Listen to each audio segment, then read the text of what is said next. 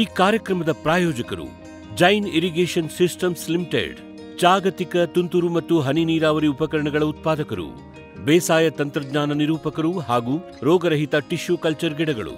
Cadbury's, cocoa ಬೆಳೆಸಿ, ಅಧಿಕ ಆದಾಯ ಗಳಿಸಿ. ವೀಕ್ಷಕರೇ, ನಮಸ್ಕಾರ. ಅಡಿಕೆ, ತೆಂಗಿನ ಮಧ್ಯೆ ಜಾಯಿಕಾಯಿಯನ್ನು ಅಂತರ್ಬೆಳೆಯಾಗಿ ಹಾಕ್ಬೋದು ಅಂತ ನಾವು ಹೇಳ್ತಾನೆ ಇದ್ವಾಗಿತ್ತು. ಈ ಜಾಯಿಕಾಯಿ ಏನು ಎತ್ತ ಅಂತ ತಿಳ್ಕೊಂಬರೋಕ್ಕೆ ನಾವು ಕೇರಳ ಅಗ್ರಿಕಲ್ಚರ್ ಯೂನಿವರ್ಸಿಟಿಗೆ ಹೋದ್ವಿ. ಅಲ್ಲಿ ನಮಗೆ ಡಾಕ್ಟರ್ ವಿಕ್ರಮ್ ಸರ್ ಹಲವಾರು ಕಾರ್ಯಕ್ರಮಗಳನ್ನು ಕೊಟ್ಟಿದ್ದು ಅದನ್ನು ನಾವು ಮಾಡ್ತಾ ಇದ್ವಿ. ಅಲ್ಲಿ ಕಾರ್ಯಕ್ರಮ ಮಾಡ್ತಾ ಇರ್ಬೇಕಾದ್ರೆ ನಮ್ಗೆ ಗೊತ್ತಾಗಿದ್ದೇನಪ್ಪ ಅಂತಂದರೆ ಇಲ್ಲಿ ಕೃಷಿ ವಿದ್ಯಾಪೀಠ ದಾಪೋಲಿಯಲ್ಲಿ ಅಲ್ಲಿನ ವಿಜ್ಞಾನಿಗಳು ಸಹಿತ ಜಾಯಿಕಾಯಿ ಮೇಲೆ ಹಲವಾರು ವರ್ಷಗಳ ಕಾಲ ಸಂಶೋಧನೆಯನ್ನು ಮಾಡಿದ್ದಾರೆ. ಒಂದು ನಾಲ್ಕು ವೆರೈಟಿಯನ್ನು ರಿಲೀಸ್ ಮಾಡಿದ್ದಾರೆ. ಅದರಲ್ಲಿ ಎರಡೇನ ಮೊನೋಷಿಯಸ್ ವೆರೈಟಿ, ಎರಡು ಡಯೋಷಿಯಸ್ ವೆರೈಟಿ ಇದೆ ಅಂತಂದರು.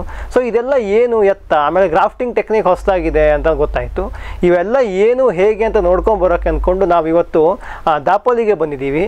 ಬನ್ನಿ, ಇಲ್ಲಿ ಯೂನಿವರ್ಸಿಟಿಯಲ್ಲಿ ಪ್ಲ್ಯಾಂಟೇಷನ್ನ ಹಿರಿಯ ವಿಜ್ಞಾನಿಯಾಗಿರುವಂತಹ ಡಾಕ್ಟರ್ ಪ್ರಫುಲ್ಲ ಮೌಳಿ ಸರನ್ನು ಮಾತಾಡಿಸ್ಕೊಂಡು ಜಾಯಿಕಾಯಿ ಬಗ್ಗೆ ಇವರು ರಿಲೀಸ್ ಮಾಡಿರುವಂತಹ ನಾಲ್ಕು ವೆರೈಟಿ ಇರಬಹುದು ಬಡ್ಡಿಂಗ್ ಯಾವ ರೀತಿ ಮಾಡ್ತಾರೆ, ಗ್ರಾಫ್ಟಿಂಗ್ ಯಾವ ರೀತಿ ಮಾಡ್ತಾರೆ, ಯಾವುದು ಬೆಸ್ಟು, ಹೇಗೆ, ಇವರ ಪ್ರಕಾರ ಜಾಯಿಕಾಯಿದ ಒಂದು ಪ್ಯಾಕೇಜ್ ಆಫ್ ಪ್ರಾಕ್ಟೀಸ್ ಏನು, ಎತ್ತ ಅಂತ ಕೇಳ್ಕೊಂಡು ಬರೋಣ so far our university doctor Bala Saheb Konkani Vidyapeeth Vidyapit we have release four varieties in nutmeg. ನಮಸ್ಕಾರ. ನಾವು ಡಾಕ್ಟರ್ ಬಾಳಾಸಾಹೇಬ್ ಕೊಂಕಣ್ ಕೃಷಿ ವಿದ್ಯಾಪೀಠ ಯೂನಿವರ್ಸಿಟಿಯಿಂದ ಜಾಯಿಕಾಯಿಯ ನಾಲ್ಕು ತಳಿಗಳನ್ನು ಇದುವರೆಗೂ ಬಿಡುಗಡೆ ಮಾಡಿದ್ದೇವೆ. ಸಾಮಾನ್ಯವಾಗಿ ನಮಗೆ ಜಾಯಿಕಾಯಿಯಲ್ಲಿ ಡಯೋಷಿಯಸ್ ನೇಚರ್ ಕಂಡು ಬರುತ್ತೆ ಅಂತಂದ್ರೆ ಗಂಡು ಹೂ ಮತ್ತು ಹೆಣ್ಣು ಹೂ ಬೇರೆ ಬೇರೆ ಮರಗಳಲ್ಲಿ ಬರುತ್ತೆ. ಆದರೆ ನಾವು ಹಲವಾರು ಜಿನೋಟೈಪ್ಗಳನ್ನು ಹುಡುಕಿ ಮಾದರಿಯನ್ನು ಸಂಗ್ರಹಣೆ ಮಾಡಿದಾಗ ಅದರಲ್ಲಿ ಈ ಎರಡು ತಳಿಗಳು ಯಾವ ರೀತಿ ಇದ್ದವಪ್ಪ ಅಂತಂದರೆ ಗಂಡು ಮತ್ತು ಹೆಣ್ಣು ಎರಡೂ ಒಂದೇ ಬರದಲ್ಲಿ ಬರುವಂಥದ್ದು ಅಂತಂದರೆ ಮೊನೋಷಿಯಸ್ ತಳಿಗಳನ್ನು ಸಹಿತ ಅಭಿವೃದ್ಧಿ ಮಾಡಿದ್ದೇವೆ. ನಾವು ಇದುವರೆಗೂ ನಾಲ್ಕು ತಳಿಗಳನ್ನು ಬಿಡುಗಡೆ ಮಾಡಿದ್ದೀವಿ. ಅದರಲ್ಲಿ ಮೊದಲನೇದು ಕೊಂಕಣ್ ಸುಗಂಧ. ಇದನ್ನು ನಾವು ಸಾವಿರದ ಒಂಬೈನೂರ ತೊಂಬತ್ತೆಂಟರಲ್ಲಿ ರಿಲೀಸ್ ಮಾಡಿದ್ವಿ. ಇದು ಪ್ರತಿ ಒಂದು ಮರಕ್ಕೆ ಒಂದು ವರ್ಷಕ್ಕೆ ಹದಿನೆಂಟರಿಂದ ಇಪ್ಪತ್ತು ಕೆ ಜಿಯಷ್ಟು ಜಾಯಿ ಕಾಯಿಯನ್ನು ಕೊಡುವಂತಹ ಸಾಮರ್ಥ್ಯವನ್ನು ಹೊಂದಿದೆ. ಈ ತಳಿಯು ಬಹಳ ಅತ್ಯುತ್ತಮವಾಗಿ ಇಳುವರಿಯನ್ನು ಕೊಡುವಂತಹದ್ದು, ಜೊತೆಗೆ ತುಂಬಾ ದಪ್ಪ ಗಾತ್ರದ ಜಾಯಿಕಾಯಿಯನ್ನು ಕೊಡುವಂತಹ ಸಾಮರ್ಥ್ಯವನ್ನು ಹೊಂದಿರುತ್ತೆ. ಇನ್ನು ಎರಡನೇ ತಳಿ ಕೊಂಕಣ್ ಸ್ವಾತ್. ಇದು ಡಯೋಷಿಯಸ್ ತಳಿ. ಅಂತಂದ್ರೆ ನೀವು ಇದರ ಜೊತೆ ಜೊತೆಗೆ ಗಂಡು ಮರಗಳನ್ನು ಕೂಡ ನೆಡಬೇಕಾಗತ್ತೆ. ಇದು ಒಂದು ವರ್ಷಕ್ಕೆ ಆರುನೂರರಿಂದ ಏಳುನೂರು ಜಾಯಿಕಾಯಿಯನ್ನು ಕೊಡುವಷ್ಟು ಸಾಮರ್ಥ್ಯವನ್ನ ಹೊಂದಿದೆ. ಇದರ ಒಂದು ಜಾಯಿಕಾಯಿಯ ತೂಕ ಸರಾಸರಿ ಐದು ಗ್ರಾಂನಷ್ಟು ಬರುತ್ತೆ. ಇನ್ನು ಜಾಯಿ ಪತ್ರೆಯ ತೂಕ ಪಾಯಿಂಟ್ ಐದು ಗ್ರಾಂನಷ್ಟು. ಇನ್ನು ನಾವು ಬಿಡುಗಡೆ ಮಾಡಿದಂತಹ ಮೂರನೇ ತಳಿ ಕೊಂಕಣ್ ಶ್ರೀಮಂತಿ. ಹೆಸರೇ ಹೇಳುವಂತೆ ಮೊದಲೆರಡು ತಳಿಗಳಿಗೆ ಹೋಲಿಸಿದರೆ ಇದು ಅತ್ಯುತ್ತಮವಾದ ಇಳುವರಿಯನ್ನು ಕೊಡುತ್ತೆ. ಕೊಂಕಣ್ ಶ್ರೀಮಂತಿ ತಳಿಯು ಒಂದು ಮರಕ್ಕೆ ಒಂದು ವರ್ಷಕ್ಕೆ ಸುಮಾರು ಏಳುನೂರರಿಂದ ಎಂಟುನೂರು ಜಾಯಿಕಾಯಿಯನ್ನು ಕೊಡುವಂತಹ ಸಾಮರ್ಥ್ಯವನ್ನು ಹೊಂದಿದೆ. ಈ ತಳಿಯನ್ನು ನಾವು ಎರಡು ಸಾವಿರದ ಐದರಲ್ಲಿ ಬಿಡುಗಡೆ ಮಾಡಿದ್ವಿ. ಇದರಿಂದ ನಾವು ತುಂಬ ದಪ್ಪ ಗಾತ್ರದ ಕಾಯಿಗಳನ್ನು, ಅಂತಂದರೆ ಒಂದು ಕಾಯಿಯ ತೂಕ ಸರಾಸರಿ ಹತ್ತು ಗ್ರಾಮ್ನಷ್ಟಿರುತ್ತೆ. ಅದೇ ಒಂದು ಕಾಯಿಯಿಂದ ಬಂದಂತಹ ಜಾಯಿಪತ್ರೆ ಸುಮಾರು ಎರಡು ಗ್ರಾಂನಷ್ಟು ತೂಗುತ್ತೆ. ಇನ್ನು ನಾಲ್ಕನೇ ತಳಿ ನಾವು ಬಿಡುಗಡೆ ಮಾಡಿದ್ದು ಅದು ಕೊಂಕಣ್ ಸಂಯುಕ್ತ. ಹೆಸರೇ ಹೇಳುವಂತೆ ಇದು ಒಂದು ಮೊನೋಷಿಯಸ್ ತಳಿ. ಅಂತಂದರೆ ಹೆಣ್ಣು ಮತ್ತು ಗಂಡು ಹೂಗಳು ಒಂದೇ ಮರದಲ್ಲಿ ಲಭ್ಯವಿರುತ್ತೆ. ಇದನ್ನು ನಮ್ಮ ಯೂನಿವರ್ಸಿಟಿಯವರು ಎರಡು ಸಾವಿರದ ಹದಿನೆಂಟರಲ್ಲಿ ಬಿಡುಗಡೆ ಮಾಡಿದರು. ಇದು ಒಂದು ಮರ ಒಂದು ವರ್ಷಕ್ಕೆ ಸುಮಾರು ಒಂಬೈನೂರು ಕಾಯಿಗಳನ್ನು ಬಿಡುವಷ್ಟು ಸಾಮರ್ಥ್ಯವನ್ನು ಹೊಂದಿದೆ. ಜಾಯಿಕಾಯಿಯ ಸಸ್ಯಾಭಿವೃದ್ಧಿಯನ್ನು ನಾವು ಸಾಮಾನ್ಯವಾಗಿ ಗ್ರಾಫ್ಟಿಂಗ್ ಮುಖಾಂತರ ಮಾಡ್ತೀವಿ. ಬಹಳಷ್ಟು ಜನ ರೈತರು ಕಸಿ ಕಟ್ಟಿರುವಂತಹ ಜಾಯಿಕಾಯಿ ಗಿಡಗಳನ್ನು ನೆಡ್ತಾರೆ. ಅಕಸ್ಮಾತ್ ನಾವು ಬೀಜದಿಂದ ಬಂದಂತಹ ಗಿಡಗಳನ್ನು ನೆಟ್ಟರೆ ನಮಗೆ ಅದು ಹೆಣ್ಣೋ ಗಂಡೋ ಗೊತ್ತಾಗೋದಿಲ್ಲ. ಮೊದಲನೇ ಸಮಸ್ಯೆ. ಎರಡನೇ ಸಮಸ್ಯೆ ಏನಪ್ಪ ಅಂತಂದರೆ ಇದು ಕಾಯಿ ಬರೋಕ್ಕೆ ನಾವು ಬಹಳಷ್ಟು ವರ್ಷಗಳ ತನಕ ಕಾಯಬೇಕಾಗತ್ತೆ. ಈ ರೀತಿ ಬೀಜದಿಂದ ಬಂದಂತಹ ಗಿಡಗಳಲ್ಲಿ ಜುವನೈಲ್ ಫೇಸ್ ಜಾಸ್ತಿ ಸಮಯ ಇರೋದ್ರಿಂದ ನಮಗೆ ಕಾಯಿ ಬರೋಕೆ ಬಹಳಷ್ಟು ವರ್ಷ ಕಾಯಬೇಕಾದಂತಹ ಪರಿಸ್ಥಿತಿ ಕೂಡ ಇದೆ. ಸಾಮಾನ್ಯವಾಗಿ ಈ ರೀತಿ ಬೀಜದಿಂದ ಬಂದಂತಹ ಗಿಡಗಳನ್ನು ನೆಟ್ಟರೆ ನಮಗೆ ಮೊದಲ ಇಳುವರಿಯನ್ನು ತಗೊಳ್ಳೋಕೆ ಸುಮಾರು ಹತ್ತು ವರ್ಷಗಳ ತನಕ ಕಾಯಬೇಕಾಗಬಹುದು. ಈ ಸಮಸ್ಯೆಯನ್ನು ಪರಿಹರಿಸಿ ಕೇವಲ ಮೂರನೇ ವರ್ಷದಿಂದಲೇ ನಮಗೆ ಕಾಯಿ ಬರಬೇಕು ಅಂತಂದರೆ ಅಧಿಕ ಇಳುವರಿ ಬರುವಂತಹ ತಳಿಗಳನ್ನೇ ನಾವು ನೆಡಬೇಕು ಅಂತಂದರೆ ಸಾಮಾನ್ಯವಾಗಿ ಜಾಯಿಕಾಯಲ್ಲಿ ಗ್ರಾಫ್ಟ್ ಮಾಡಿದ ಅಥವಾ ಬಡ್ ಮಾಡಿದಂತಹ ಗಿಡಗಳನ್ನೇ ನೆಡುವುದು ಸೂಕ್ತ. ಜಾಯಿಕಾಯಲ್ಲಿ ಗ್ರಾಫ್ಟಿಂಗ್ ಮತ್ತು ಬಡ್ಡಿಂಗ್ ಎರಡು ತಂತ್ರಜ್ಞಾನವನ್ನು ಉಪಯೋಗಿಸಿ ಸಸ್ಯಾಭಿವೃದ್ಧಿಯನ್ನು ಮಾಡಲಾಗುತ್ತೆ. ಬಡ್ಡಿಂಗ್ ಅನ್ನು ತೆಗೆದುಕೊಂಡ್ರೆ ನಾವು ಪ್ಯಾಚ್ ಬಡ್ಡಿಂಗ್ ಟೆಕ್ನಿಕನ್ನು ಉಪಯೋಗಿಸ್ತೀವಿ. ಇದರಲ್ಲಿ ನಾವು ಸುಮಾರು ಒಂದು ವರ್ಷದಷ್ಟು ಹಳೆಯದಾದಂತಹ ಬೀಜದಿಂದ ಬಂದಂತಹ ರೂಟ್ ಸ್ಟಾಕನ್ನು ಉಪಯೋಗಿಸಬೇಕಾಗತ್ತೆ. ಇನ್ನು ಸಯಾನ್ಗೋಸ್ಕರ ನಮಗೆ ಅರ್ಥೋಟ್ರಾಪಿಕ್ ಬ್ರ್ಯಾಂಚಿಂದ ಬಡ್ಗಳನ್ನು ತೆಗೆದುಕೊಳ್ಬೇಕು. ನಮಗೆ ಗಿಡದಿಂದ ಅರ್ಥೋಟ್ರಾಪಿಕ್ ಬ್ರ್ಯಾಂಚ್ಗಳು, ಬಡ್ಗಳು ಜಾಸ್ತಿ ಸಿಗಬೇಕು ಅಂತ ಅಂದ್ಕೊಂಡು ಗಿಡವನ್ನು ಸವರೋದು, ಎಲೆಗಳನ್ನು ಕಟ್ ಮಾಡೋದು ಈ ರೀತಿ ಹಲವಾರು ಕೆಲಸಗಳನ್ನು ನಾವು ಮಾಡ್ಕೋಬೇಕಾಗತ್ತೆ. ಈ ರೀತಿ ಸಂಗ್ರಹಿಸಿದ ಬಡ್ಗಳನ್ನು ನಾವು ಒಂದು ವರ್ಷದಷ್ಟು ಹಳೆಯದಾದ ರೂಟ್ ಸ್ಟಾಕ್ ಮೇಲೆ ಬಡ್ ಮಾಡ್ತೀವಿ. ಬಡ್ ಮಾಡಾದ ಮೇಲೆ ಆ ಭಾಗವನ್ನು ನಾವು ಪ್ಲಾಸ್ಟಿಕ್ ಕವರಿಂದ ಸುತ್ತಿ ಬಡ್ ಮಾಡಿದಂತಹ ಅಥವಾ ಗ್ರಾಫ್ಟ್ ಮಾಡಿದಂತಹ ಎಲ್ಲ ಗಿಡಗಳಲ್ಲೂ ಸಹಿತ ನಾವು ಪ್ಲ್ಯಾಸ್ಟಿಕ್ಕಿಂದ ಮುಚ್ಚಬೇಕಾಗತ್ತೆ. ಈ ರೀತಿ ಯಾಕೆ ಮಾಡ್ತೀವಿ ಅಂತಂದರೆ ನಾವು ಮಾಡಿದಂತಹ ಗ್ರಾಫ್ಟ್ ಅಥವಾ ಬಡ್ಡಿಂಗ್ ಸಕ್ಸಸ್ ಆಗಬೇಕು ಅಂತಂದರೆ ನಮಗೆ ಅಲ್ಲಿ ಅತ್ಯಂತ ಹೆಚ್ಚು ಆರ್ದ್ರತೆ ಇರಬೇಕಾಗತ್ತೆ. ಆರ್ದ್ರತೆಯನ್ನು ಕಾಪಾಡಿಕೊಳ್ಳೋದಕ್ಕಾಗಿ ನಾವು ಪ್ರತಿಯೊಂದು ಗಿಡವನ್ನು ಪ್ಲ್ಯಾಸ್ಟಿಕ್ಕಿಂದ ಮುಚ್ತೀವಿ ಯಾವಾಗ ನಾವು ಬಡ್ ಮಾಡಿರುವಂತಹ ಗಿಡ ಚಿಗುರೋಕೆ ಶುರುವಾಗುತ್ತೋ ಆವಾಗ ನಾವು ಪ್ಲ್ಯಾಸ್ಟಿಕ್ಕನ್ನು ತೆಗೆದು ಗಿಡವನ್ನು ಪಾಲಿಮನೆ ಅಥವಾ ಶೇಡ್ ನಟ್ನ ಒಳಗೆ ನೆರಳಲ್ಲಿ ಸಾಮಾನ್ಯವಾದ ತಾಪಮಾನದಲ್ಲೇ ಇಡಲಾಗತ್ತೆ. ಯಾವಾಗ ನಾವು ಬಡ್ ಮಾಡಿದಂತಹ ಗಿಡ ಸಕ್ಸಸ್ ಆಗಿ ಸುಮಾರು ಒಂದು ಇಂಚಿನಷ್ಟು ಬೆಳೆಯುತ್ತೋ ಆವಾಗ ನಾವು ಬಡ್ ಯೂನಿಯನ್ ಅಥವಾ ಗ್ರಾಫ್ಟ್ ಯೂನಿಯನ್ಗೆ ಕಟ್ಟಿರುವಂತಹ ಪ್ಲ್ಯಾಸ್ಟಿಕ್ಕನ್ನು ತೆಗಿತೀವಿ. ಭೂಮಿದೀಪ, ಸಾರಜನಕ, ರಂಜಕ ಒದಗಿಸುವ ಸೂಕ್ಷ್ಮಾಣುಜೀವಿ ಮಿಶ್ರಿತ ಸಮೃದ್ಧ ಸಾವಯವ ಎರೆಗೊಬ್ಬರ, ಕಾಳು ಮೆಣಸಿಗೆ ಟ್ರೈಕೋಡರ್ಮ ಸಂವರ್ಧಿತ ವಿಶೇಷ ಎರೆಗೊಬ್ಬರ, ಕುದುರೆ, ಹೇಸರಗತ್ತೆ ಲದ್ದಿಯ ಅಧಿಕ ಪೌಷ್ಟಿಕಾಂಶದ ಅಶ್ವಸಾರ ಎರೆಗೊಬ್ಬರ. ಎನ್ಪಿಕೆ, ಲಘು ಮತ್ತು ಸೂಕ್ಷ್ಮ ಪೋಷಕಾಂಶಗಳು, ಸಸ್ಯ ಪ್ರಚೋದಕಗಳು ಹಾಗೂ ಹಾರ್ಮೋನುಗಳ ಆಗರ ಭೂಮಿದೀಪ ಎರೆಗೊಬ್ಬರ. ಕೋಕೋ ಈಗ ಕರ್ನಾಟಕದ ವಾಣಿಜ್ಯ ತೋಟದ ಬೆಳೆಗಳಲ್ಲೊಂದು. ಅಧಿಕ ಇಳುವರಿಯ ಹೈಬ್ರಿಡ್ ಎಫ್ ಒನ್ ಗಿಡಗಳು ಕ್ಯಾಡ್ಬರಿ ನರ್ಸರಿಗಳಲ್ಲಿ ಮಾತ್ರ ಲಭ್ಯ. ಗಿಡ ಬೇಕಾದವರು ಕ್ಯಾಡ್ಬರಿ ಅಧಿಕಾರಿಗಳನ್ನು ಸಂಪರ್ಕಿಸಿ.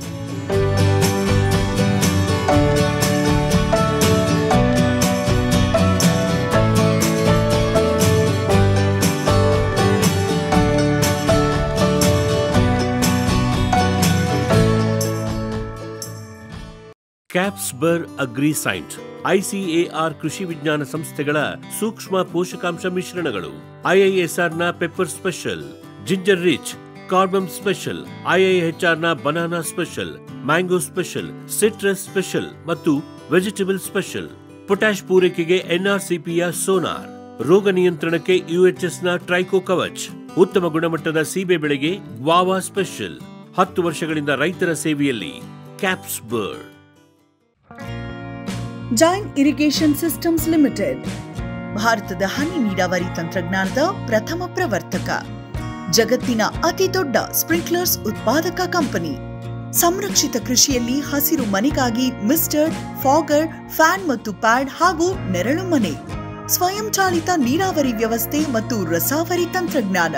ಕೃಷಿಯಲ್ಲಿ ನೀರಿನ ಸಮರ್ಪಕ ಬಳಕೆ ಹಾಗೂ ಉಳಿತಾಯಕ್ಕೆ ಮತ್ತೊಂದು ಹೆಸರು ಜೈನ್ ಗ್ರೀನ್ ಪ್ಲಾಸ್ಟ್ ಐಎಸ್ಐ ಪ್ರಮಾಣೀಕೃತ ಪರಿಶುದ್ಧ ಎಚ್ಡಿಪಿಇ ಜಿಯೋ ಮೆಂಬ್ರೇನ್ ಪಾಂಡ್ ಲೈನರ್ಗಳು. ಕೃಷಿ ಹೊಂಡ, ಕೆರೆ, ಕಾಲುವೆ, ಮೀನುಕೊಳ, ಸ್ಪಿರುಲಿನಾ ಹೊಂಡಗಳಿಗೆ ಬೇಕಾದ ಆಕಾರ ಮತ್ತು ವಿಸ್ತೀರ್ಣಗಳಲ್ಲಿ ಸರ್ಕಾರದ ಸಬ್ಸಿಡಿ ಯೋಜನೆಯಡಿ ಲಭ್ಯ.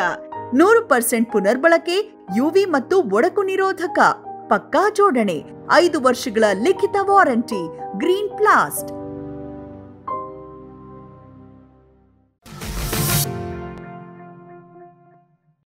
The method that we followed it is epicotyl grafting ಇನ್ನು ಜಾಯ್ಕಾಯಿ ಸಸ್ಯಾಭಿವೃದ್ಧಿಯಲ್ಲಿ ನಾವು ಬಳಸುವ ಎರಡನೇ ಟೆಕ್ನಿಕ್ ಏನಪ್ಪ ಅಂತಂದರೆ ಅದು ಎಪಿಕೋಟೈಲ್ ಗ್ರಾಫ್ಟಿಂಗ್ ಇದರಲ್ಲಿ ನಾವು ರೂಟ್ ಸ್ಟಾಕ್ ಆಗಿ ಬಳಸೋಕೆ ಅಂತ ಅಂದ್ಕೊಂಡು ಹಲವಾರು ಜಾತಿಯ ಬೀಜಗಳನ್ನು ಆಯ್ದುಕೊಂಡು ಬರ್ತೀವಿ. ಅವನ್ನು ನರ್ಸರಿ ಬೆಡ್ಗಳಲ್ಲಿ ಬಿತ್ತುತ್ತೀವಿ. ಸಾಮಾನ್ಯವಾಗಿ ನರ್ಸರಿಯಲ್ಲಿ ನಾವು ಒಂದು ಬೀಜದಿಂದ ಇನ್ನೊಂದು ಬೀಜಕ್ಕೆ ಒಂದು ಇಂಚು ಅಂತರದಲ್ಲಿ, ಹಾಗೆ ಒಂದು ಸಾಲಿಂದ ಇನ್ನೊಂದು ಸಾಲಿಗೆ ಹತ್ತು ಸೆಂಟಿಮೀಟರ್ ಅಂತರದಲ್ಲಿ ನಾವು ಬೀಜಗಳನ್ನು ಬಿತ್ತುತ್ತಾ ಹೋಗ್ತೀವಿ. ನಾವು ಬೀಜಗಳನ್ನು ಬಿತ್ತಿ ಮೂವತ್ತರಿಂದ ನಲವತ್ತು ದಿವಸಗಳಾದ ಮೇಲೆ ಬೀಜ ಮೊಳಕೆ ಒಡೆಯೋಕ್ಕೆ ಶುರುವಾಗತ್ತೆ. ಯಾವಾಗ ಈ ಬೀಜದ ಗಿಡಗಳು ಹತ್ತರಿಂದ ಹದಿನೈದು ಸೆಂಟಿಮೀಟರ್ ಅಷ್ಟು ಎತ್ತರಕ್ಕೆ ಬೆಳೆಯುತ್ತೋ ಆವಾಗ ಅವುಗಳನ್ನು ತೆಗೆದು ನರ್ಸರಿ ಪಾಲಿ ಬ್ಯಾಗ್ಗಳಲ್ಲಿ ಅವುಗಳನ್ನು ಬೆಳೆಸಲಾಗುತ್ತೆ. ಈ ರೀತಿ ತಯಾರಿಸಲಾಗಿರುವಂತಹ ರೂಟ್ ಸ್ಟಾಕ್ಗಳನ್ನು ನಾವು ಗ್ರಾಫ್ಟಿಂಗ್ಗೋಸ್ಕರ ಮುಂದೆ ಉಪಯೋಗಿಸ್ತೀವಿ. ಜಾಯಿಕಾಯಿ ಬೆಳವಣಿಗೆ ತುಂಬ ನಿಧಾನವಾಗಿರೋದ್ರಿಂದ ನಾವು ಸಯಾನನ್ನು ಕಟ್ ಮಾಡೋಕ್ಕಿಂತ ಹದಿನೈದು ದಿವಸಗಳ ಮುಂಚೆನೆ ನಾವು ಜಾಯಿಕಾಯಿ ಗಿಡಗಳಲ್ಲಿ ಎಲೆಗಳನ್ನು ಕತ್ತರಿಸಬೇಕಾಗತ್ತೆ. ನಾವು ಯಾವ ಸಯಾನನ್ನ ಆಯ್ದುಕೊಳ್ಬೇಕು ಅಂತಿರ್ತೀವೋ ಅದರ ಎಲ್ಲ ಎಲೆಗಳನ್ನು ತೆಗಿಬೇಕಾಗತ್ತೆ. ಕೇವಲ ತುದಿಯ ಒಂದು ಎರಡು ಎಲೆಗಳನ್ನು ಮಾತ್ರ ನಾವು ಉಳಿಸಿರ್ತೀವಿ. ಈ ರೀತಿ ನಾವು ಎಲೆಗಳನ್ನು ತೆಗೆದು ಹದಿನೈದು ದಿವಸಗಳ ನಂತರ ನಾವು ಅಲ್ಲಲ್ಲಿ ನಮಗೆ ಬಡ್ಗಳು ಹೊರಗೆ ಬರ್ತಾ ಇರೋದನ್ನು ಕಾಣಬಹುದು. ಯಾವಾಗ ನಾವು ಎಲೆಗಳನ್ನು ಕತ್ತರಿಸಿ ಹದಿನೈದು ದಿನಗಳ ನಂತರ ಬಡ್ಗಳು ಹೊರಗೆ ಬರ್ತಾ ಇರೋದು ನಮಗೆ ಕಾಣಿಸುತ್ತೋ, ಆವಾಗ ನಾವು ಸಯಾನನ್ನು ಗಿಡದಿಂದ ಕತ್ತರಿಸಿ ಗ್ರಾಫ್ಟ್ ಮಾಡೋಕ್ಕೆ ತೆಗೆದುಕೊಂಡು ಬರ್ತೀವಿ. ಜಾಯಿಕಾಯಿಯಲ್ಲಿ ಗ್ರಾಫ್ಟಿಂಗ್ ಆಗಿ ನಾವು ವೆಜ್ ಗ್ರಾಫ್ಟಿಂಗ್ ಟೆಕ್ನಿಕ್ ಅನ್ನು ಅಳವಡಿಸ್ಕೊಂಡಿದ್ದೀವಿ. ಇದರಲ್ಲಿ ನಾವು ರೂಟ್ ಸ್ಟಾಕಿಗೆ ಉದ್ದವಾಗಿ ನೇರವಾದ ಒಂದು ಕಟ್ಟನ್ನು ಕೊಡ್ತೀವಿ. ಸಯಾನನ್ನ ವಿ ಶೇಪಲ್ಲಿ ಕಟ್ ಮಾಡಿ ನಾವು ಸರಿಯಾಗಿ ಹೊಂದಾಣಿಕೆ ಆಗೋ ರೀತಿ ಸಯಾನ್ ಮತ್ತೆ ರೂಟ್ ಸ್ಟಾಕ್ ಅನ್ನ ಜೋಡಿಸ್ತೀವಿ. ಈ ರೀತಿ ಜಾಯಿಂಟ್ ಆದ ಭಾಗವನ್ನ ನಾವು ಬಿಗಿಯಾಗಿ ಪಾಲಿಥೀನ್ ಶೀಟ್ ಇಂದ ಕಟ್ತೀವಿ. ಬಡ್ಡಿಂಗ್ ಅಲ್ಲಿ ಮಾಡಿರೋ ರೀತಿನೇ ಇಲ್ಲೂ ಸಹಿತ ನಾವು ತಾಪಮಾನ ಮತ್ತು ಆರ್ದ್ರತೆಯನ್ನ ಕಾಪಾಡಿಕೊಳ್ಳಲು ಪ್ರತಿಯೊಂದು ಗ್ರಾಫ್ಟ್ ಅನ್ನು ಸಹಿತ ಪ್ಲಾಸ್ಟಿಕ್ ಬ್ಯಾಗಿಂದ ಮುಚ್ತೀವಿ ಈ ರೀತಿ ಮಾಡಿರೋದ್ರಿಂದ ತಾಪಮಾನ ಮತ್ತು ಆರ್ದ್ರತೆಯನ್ನ ನಾವು ಕಂಟ್ರೋಲ್ ಇಟ್ಕೊಂಡು ಪ್ರತಿಯೊಂದು ಗ್ರಾಫ್ಟ್ನ ಸಕ್ಸಸ್ ಹೆಚ್ಚಾಗೋಕ್ಕೆ ಇದು ಸಹಕಾರಿಯಾಗತ್ತೆ. ಯಾವಾಗ ಗ್ರಾಫ್ಟ್ ಮಾಡಿರೋ ಸಯಾನ್ನ ಬಡ್ ಮೊಳಕೆ ಹೊಡೆಯೋಕೆ ಶುರುವಾಗುತ್ತೋ, ಆವಾಗ ನಾವು ಪ್ಲಾಸ್ಟಿಕ್ ಬ್ಯಾಗ್ಗಳನ್ನು ತೆಗೆದು ಈ ಗ್ರಾಫ್ಟೆಡ್ ಗಿಡಗಳನ್ನು ನರ್ಸರಿಗೆ ಸ್ಥಳಾಂತರಿಸಿರ್ತೀವಿ. ಗ್ರಾಫ್ಟ್ ಅಥವಾ ಬಡ್ ಯಶಸ್ವಿ ಆದಮೇಲೆ ನಾವು ನರ್ಸರಿಯಲ್ಲಿ ಗಿಡಗಳ ಆರೈಕೆ ಯಾವ ರೀತಿ ಮಾಡ್ಕೊಳ್ತೀವಿ ಅನ್ನೋದು ಸಹಿತ ಬಹಳ ಮುಖ್ಯವಾಗುತ್ತೆ.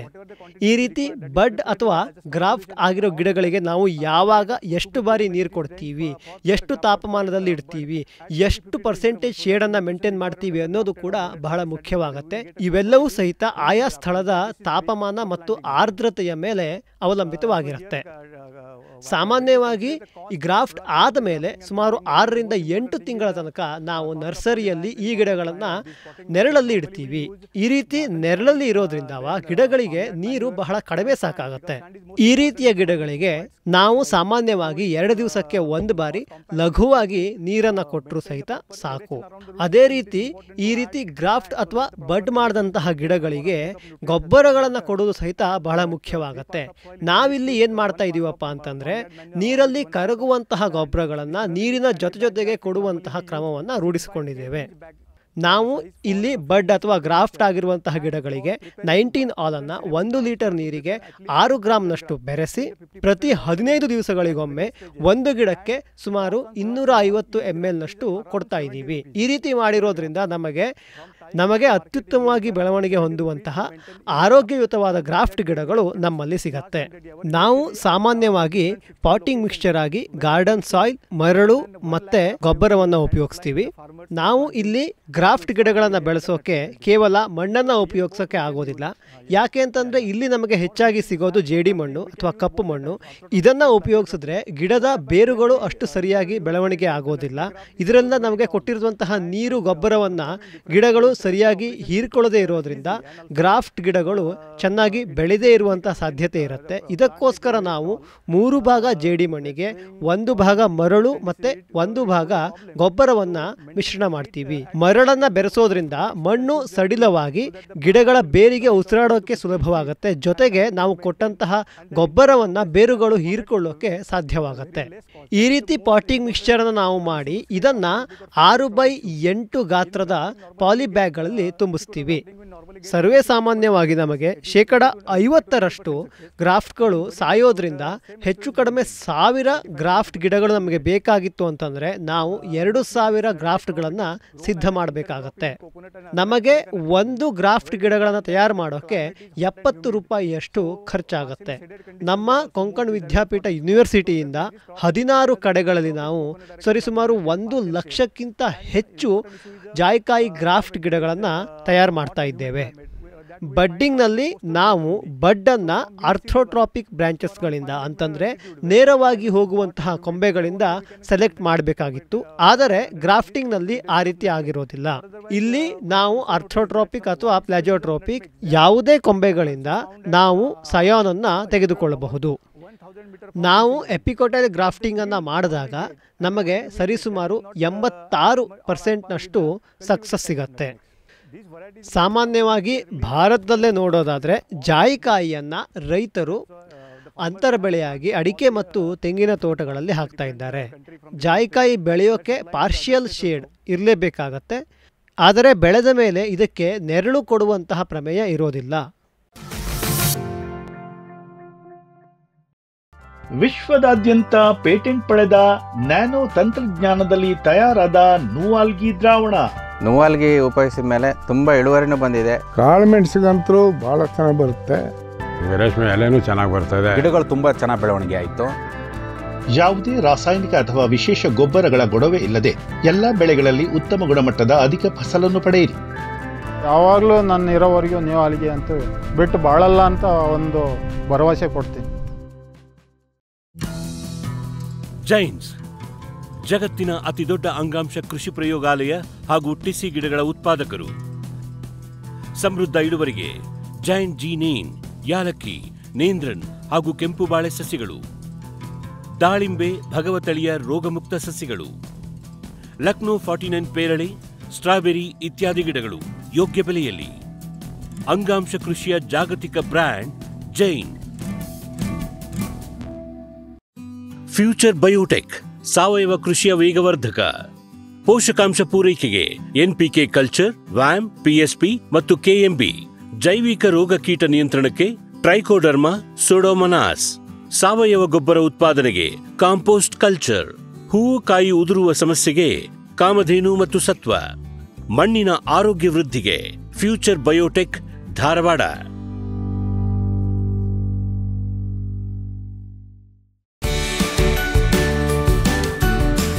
ಎಲ್ ಸಾಲ್ ತಂದಿದೆ.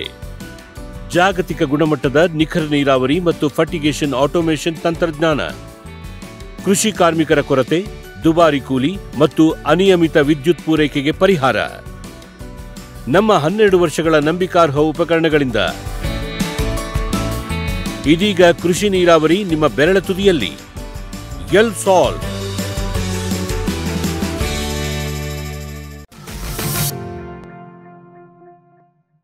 As I told that uh, this crop it is taken as an intercrop in coconut and arecanut garden. So where established coconut and arecanut gardens are available with along with ನಾನು ಮುಂಚೆನೇ ಹೇಳಿರೋ ಹಾಗೆ ಜಾಯಿಕಾಯಿಯನ್ನ ತೆಂಗು ಮತ್ತು ಅಡಿಕೆಯಲ್ಲಿ ಅಂತರ ಬೆಳೆಯಾಗಿ ಬೆಳೀತಾರೆ ಎಲ್ಲಿ ನಿಮಗೆ ತೆಂಗು ಅಡಿಕೆ ತೋಟಗಳಿದಾವೋ, ಅಕಸ್ಮಾತ್ ನಿಮ್ಮಲ್ಲಿ ಅತ್ಯುತ್ತಮವಾಗಿ ನೀರು ಸಿಗೋ ರೀತಿ ಇದ್ದರೆ ನೀವು ಜಾಯಿಕಾಯಿಯನ್ನು ಹಾಕಬಹುದು. ನೆನಪಿಡಿ, ಜಾಯಿಕಾಯಿ ನೀರನ್ನು ಹೆಚ್ಚಾಗಿ ಬೇಡುವಂತಹ ಬೆಳೆ.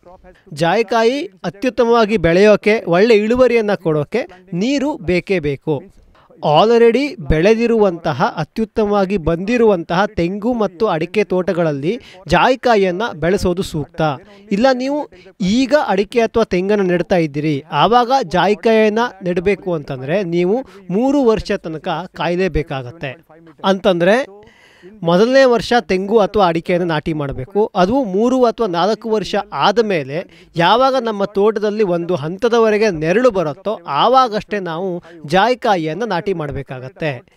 ನಾವು ಇಲ್ಲಿ ತೆಂಗಿಗೆ ಏಳು ಪಾಯಿಂಟ್ ಐದು ಇಂಟು ಏಳು ಪಾಯಿಂಟ್ ಐದರಷ್ಟು ಅಂತರವನ್ನು ಕಾಪಾಡಿಕೊಳ್ಳೋಕೆ ಹೇಳ್ತಿದ್ವಿ. ಈ ರೀತಿ ತೆಂಗಿನ ತೋಟಗಳಲ್ಲಿ ನಾವು ಒಂದು ಸಿಸ್ಟಮನ್ನು ಮಾಡಿದ್ವಿ. ಅದೇನಪ್ಪ ಅಂತಂದ್ರೆ ನಾಲ್ಕು ತೆಂಗಿನ ಗಿಡಗಳ ಮಧ್ಯೆ ಒಂದು ಜಾಯಿಕಾಯಿ ಗಿಡವನ್ನು ನೆಡುವಂತಹದ್ದು. ನಾವು ತೆಂಗಿನಿಂದ ತೆಂಗಿಗೆ ಏಳೂವರೆ ಮೀಟರ್ ಅಷ್ಟು ಅಂತರವನ್ನು ಕೊಟ್ಟಿರ್ತೀವಿ. ಈ ರೀತಿಯಾಗಿ ನಾವು ಒಂದು ತೆಂಗಿನಿಂದ ಇನ್ನೊಂದು ತೆಂಗಿಗೆ ಏಳೂವರೆ ಮೀಟರ್ ಅಂತರವನ್ನು ಕೊಡೋದ್ರಿಂದ ಒಂದು ಎಕರೆಗೆ ಸುಮಾರು ಎಪ್ಪತ್ತು ತೆಂಗಿನ ಗಿಡಗಳನ್ನು ನೆಡಬಹುದು. ಅದೇ ರೀತಿ ಆ ಒಂದು ಎಕರೆಯಲ್ಲಿ ಐವತ್ತ ನಾಲ್ಕು ಜಾಯಿಕಾಯಿ ಗಿಡಗಳನ್ನು ನೆಡಬಹುದು. ನಾವು ಜಾಯಿಕಾಯಿಯನ್ನು ನಾಟಿ ಮಾಡಬೇಕಾದ್ರೆ ನಾಲ್ಕು ತೆಂಗಿನ ಗಿಡಗಳ ಮಧ್ಯ ಅರವತ್ತು ಸೆಂಟಿಮೀಟರ್ ಅರವತ್ತು ಸೆಂಟಿಮೀಟರ್ ಅರವತ್ತು ಸೆಂಟಿಮೀಟರ್ ಅಗಲ, ಉದ್ದ ಮತ್ತು ಆಳದ ಗುಂಡಿಯನ್ನು ತೋಡಬೇಕಾಗತ್ತೆ. ಈ ರೀತಿ ಗುಂಡಿಗಳನ್ನು ನಾವು ಬೇಸಿಗೆಗಾಲದಲ್ಲಿ ತೆಗಿಬೇಕಾಗತ್ತೆ. ಇನ್ನು ಮಳೆ ಬರೋದಕ್ಕಿಂತ ಮುಂಚಿತವಾಗಿ ಚೆನ್ನಾಗಿ ಕೊಳೆತಂತಹ ಗೊಬ್ಬರ ಮತ್ತು ಟ್ರೈಕೋಡರ್ಮಾವನ್ನು ಗುಂಡಿಯೊಳಗೆ ಹಾಕಬೇಕು. ಇನ್ನು ಮಹಾರಾಷ್ಟ್ರದ ಮಣ್ಣುಗಳಲ್ಲಿ ಫಾಸ್ಫರಸ್ ಹೆಚ್ಚಿನ ಸಂಖ್ಯೆಯಲ್ಲಿ ಲಭ್ಯವಿರದೆ, ಆದರೆ ಅವು ಅನ್ಅವೈಲೇಬಲ್ ಫಾರ್ಮಲ್ಲಿ ಇರೋದ್ರಿಂದವ ಸಾಮಾನ್ಯವಾಗಿ ಈ ರೀತಿ ಗುಂಡಿಗಳಲ್ಲಿ ನಾವು ಟ್ರೈಕೋಡರ್ಮ ಮತ್ತು ಗೊಬ್ಬರದ ಜೊತೆ ಜೊತೆಗೆ ಫಾಸ್ಫರಸ್ ಸಾಲ್ಯುಬಲೈಸಿಂಗ್ ಬ್ಯಾಕ್ಟೀರಿಯಾವನ್ನು ಸಹಿತ ನೀಡೋಕ್ಕೆ ರೈತರಿಗೆ ಶಿಫಾರಸನ್ನು ಮಾಡ್ತೀವಿ. ಈ ರೀತಿ ಮಾಡಿರೋದ್ರಿಂದವ ಈ ಫಾಸ್ಫರಸ್ ಸಾಲ್ಯುಬಲೈಸಿಂಗ್ ಬ್ಯಾಕ್ಟೀರಿಯಾ ಫಾಸ್ಫರಸ್ಸನ್ನು ಗಿಡಗಳಿಗೆ ಸಿಗೋ ರೂಪದಲ್ಲಿ ಕನ್ವರ್ಟ್ ಮಾಡುತ್ತೆ. ಮಣ್ಣಿನಲ್ಲಿ ಲಭ್ಯವಿರುವಂತಹ ಫಾಸ್ಫರಸ್ ಪ್ರಮಾಣ ಜಾಸ್ತಿ ಇದ್ದರೆ ಗಿಡದ ಬೇರು ಬೆಳವಣಿಗೆಗೆ ಸಹಕಾರಿಯಾಗತ್ತೆ. ಗಿಡದ ಬೇರಿನ ಬೆಳವಣಿಗೆ ಅತ್ಯುತ್ತಮವಾಗಿ ಆಗಿದ್ದರೆ ನಾವು ಕೊಟ್ಟಂತಹ ನೀರು ಮತ್ತು ಗೊಬ್ಬರವನ್ನು ಬೇರು ಹೀರಿಕೊಂಡು ಗಿಡ ಒಳ್ಳೆ ರೀತಿಯಲ್ಲಿ ಬೆಳವಣಿಗೆ ಹೊಂದೋದು ಸಾಧ್ಯವಾಗತ್ತೆ. ಗುಂಡಿಯನ್ನು ತುಂಬಿಸಬೇಕಾದ್ರೂ ಸಹಿತ ನಾವು ಒಂದು ಸಣ್ಣ ಎಚ್ಚರಿಕೆಯನ್ನು ವಹಿಸಬೇಕು. ಅದೇನಪ್ಪ ಅಂತಂದರೆ ಗುಂಡಿಯನ್ನು ಪೂರ್ತಿಯಾಗಿ ತುಂಬಿಸಿ ಸ್ವಲ್ಪ ಎತ್ತರವಾಗುವಷ್ಟು ನಾವು ತುಂಬಿಸ್ಬೇಕಾಗತ್ತೆ. ಇನ್ನು ಮುಂಗಾರಿಗೆ ನಾವು ಗಿಡವನ್ನು ನಾಟಿ ಮಾಡ್ತೀವಿ. ಇನ್ನು ಅತ್ಯಂತ ಹೆಚ್ಚಾಗಿ ಮಳೆ ಬೀಳುವ ಪ್ರದೇಶದಲ್ಲಿ ಸಾಮಾನ್ಯವಾಗಿ ಮುಂಗಾರು ಮುಗಿಯೋ ಹಂತದಲ್ಲಿ, ಅಂತಂದರೆ ಸೆಪ್ಟೆಂಬರ್, ಅಕ್ಟೋಬರ್ ಆ ತಿಂಗಳುಗಳಲ್ಲಿ ನಾವು ಗಿಡವನ್ನು ನಾಟಿ ಮಾಡುವುದನ್ನು ಸಹಿತ ಕಾಣಬಹುದು. ಇನ್ನು ವರ್ಷ ಪೂರ್ತಿಯಾಗಿ ನಾವು ನೀರಾವರಿಯನ್ನು ಕೊಡ್ತೀವಿ ಅಂತಂದರೆ ನಾವು ಚಳಿಗಾಲದಲ್ಲೂ ಸಹಿತ ಗಿಡಗಳನ್ನು ನಾಟಿ ಮಾಡಬಹುದು. ಗಿಡ ನಾಟಿ ಮಾಡಿ ಆದಮೇಲೆ ನಾವು ಪ್ರತಿ ವರ್ಷ ತಪ್ಪದೆ ಗಿಡಗಳಿಗೆ ಗೊಬ್ಬರವನ್ನು ಕೊಡೋದು ಬಹಳ ಮುಖ್ಯ. ಪ್ರತಿ ವರ್ಷ ಜೂನ್ ತಿಂಗಳಲ್ಲಿ ಅಂತಂದರೆ ಮುಂಗಾರು ಶುರು ಆಗೋಕ್ಕಿಂತ ಮುಂಚೆ ಗಿಡಗಳಿಗೆ ಬೇಕಾಗಿರುವಂತಹ nitrogen, phosphorus, potassium, N P K ಗೊಬ್ಬರಗಳನ್ನು ಕೊಡಬೇಕಾಗತ್ತೆ.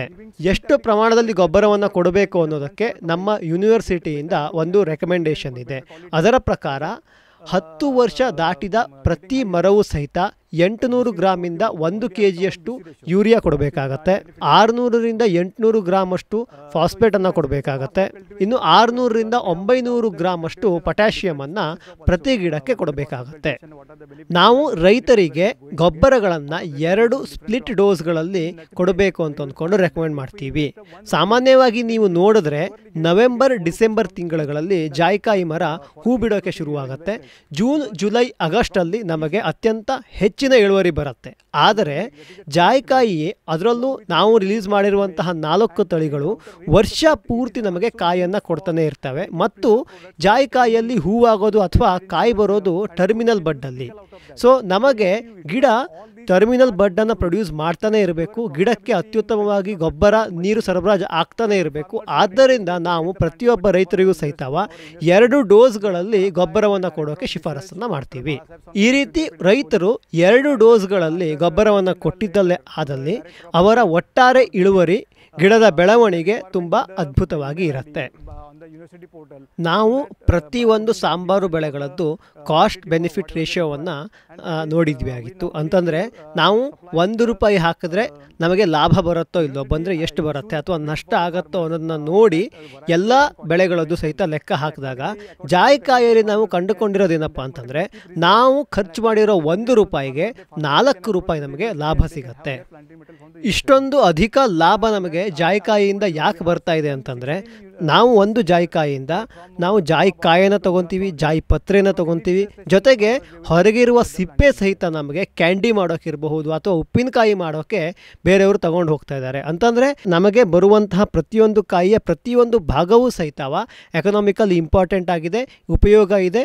ಅವೆಲ್ಲವನ್ನು ಸಹಿತ ರೈತರು ಮಾರಿ ದುಡ್ಡನ್ನು ಗಳಿಸ್ಬೋದಾಗಿದೆ ಇದಕ್ಕಾಗೇ ನಾವು ಒಂದು ರೂಪಾಯಿ ಜಾಯಿಕಾಯಿ ಬೆಳೆಯೋಕ್ಕೆ ಖರ್ಚು ಮಾಡಿದ್ರೆ ನಮಗೆ ನಾಲ್ಕು ರೂಪಾಯಿಯಷ್ಟು ಲಾಭ ಇದೆ. ಕೆಲವೊಮ್ಮೆ ನಾವು ಜಾಯಿಕಾಯಿಯನ್ನು ಬೀಜದಿಂದ ಸಸ್ಯಾಭಿವೃದ್ಧಿ ಮಾಡ್ತೀವಿ. ಅಂಥ ಸಂದರ್ಭದಲ್ಲಿ ಬಂದಿರುವಂತಹ ಗಿಡ ಗಂಡು ಮರವೋ, ಹೆಣ್ಣು ಮರವೋ ಅಂತ ನಮಗೆ ಗೊತ್ತಾಗೋಕ್ಕೆ ಸಾಧ್ಯವಿಲ್ಲ.